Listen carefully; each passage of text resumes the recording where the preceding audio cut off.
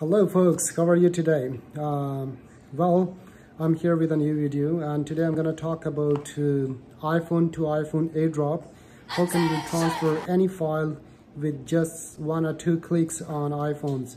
So I got one iPhone here, uh, this one. One is here in my hands and one is uh, there I'm capturing a video.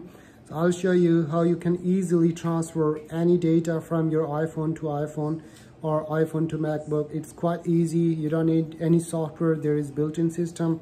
You just need to click uh, on AirDrop and your data would be transferred from one device to another one. So remember, I'm just talking about iPhone to iPhone, Apple to Apple, not iPhone to Android or Android to iPhone or iPhone to PC or Windows or whatsoever. So uh, if you are new here, then consider subscribing this YouTube channel because I'm here with a, always here with the new videos and new content. So uh, let's jump into the video and uh, let me tell you how you can easily transfer heavy files, photos, or whatsoever you want to transfer. So see you there. Okay guys, uh, here we have two iPhones and uh, I'm gonna show you how you can transfer data through the airdrop from one uh, mobile phone to another. That's quite easy. So let's go to for example gallery i have some videos here and these videos are not here. So just open this one here and this is the share button. Just share go to this share option and then click simply click airdrop.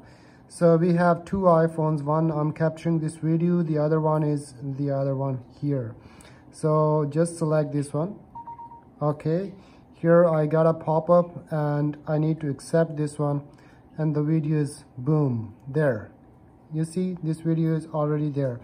So yeah look this video is already transferred there. If I want to transfer another video or photo or something I have so many other videos as well. I want to select these one one two three four five six and I want to transfer these videos. That's all just go to airdrop simply and press this button. And this is my mobile phone once again. Go to this one.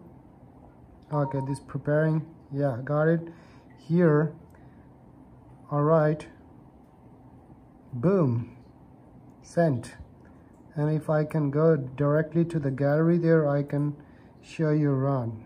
Uh, where is this one? I need to go to albums and videos and here are these videos. You see these videos are already here. This one this one this one.